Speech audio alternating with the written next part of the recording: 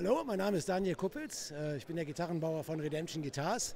Unsere Spezialität sind eigentlich Blues-Gitarren und Slide-Gitarren, wobei wir jetzt hier Resonator-Gitarren haben, äh, auch Solid Bodies-Gitarren, von denen es eigentlich genug gibt.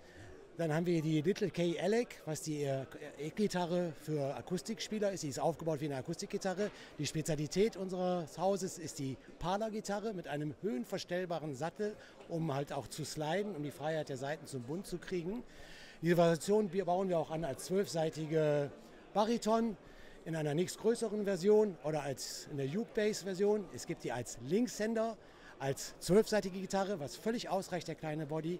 Dann nochmal als Bariton und für die Mainstream-Gitarristen auch eine größere Size, die der Dreadnought entspricht und mit diesen moderneren Fennet Frets, was wirklich Sinn macht, weil es die Mitten betont.